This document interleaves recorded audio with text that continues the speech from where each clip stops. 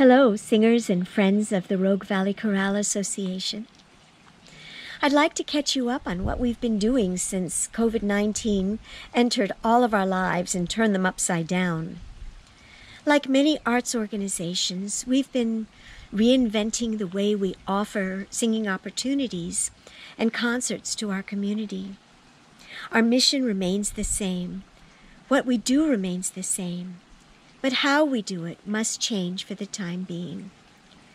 Singers have been dubbed super spreaders.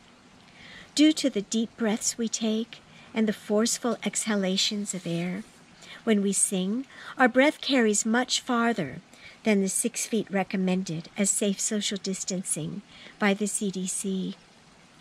Each singer would need to stand 20 feet apart from others to remain safe. Obviously, this poses many problems given the limited size of our rehearsal and performance spaces. But singing is in our blood. It's the way we express ourselves emotionally, the way we find connection with others, including our audience. The need to sing manifests as a physical, emotional, and a spiritual one. We have to sing to be able to continue singing, we've come up with a plan that will hopefully carry us to the end of this pandemic. We plan on recording a televised concert called Holiday Fair.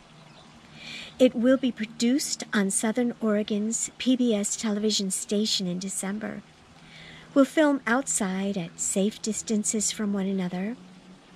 Our filming will take place in small groups inside and at socially safe distances. We have a, a, fabulous team of video and audio technicians to help us get this project off the ground.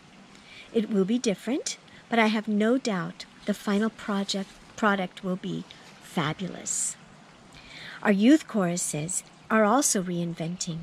We're looking for ways to possibly divide up rehearsals into smaller groupings of singers spaced apart at safe distances. Our performances would take place outside or would be videotaped and aired using one of the many platforms available to us.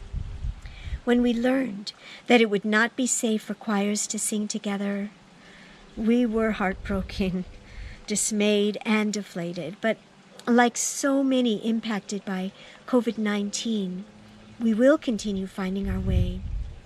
So the Rogue Valley Chorale Association is here. We're strong, and we will all get through this together.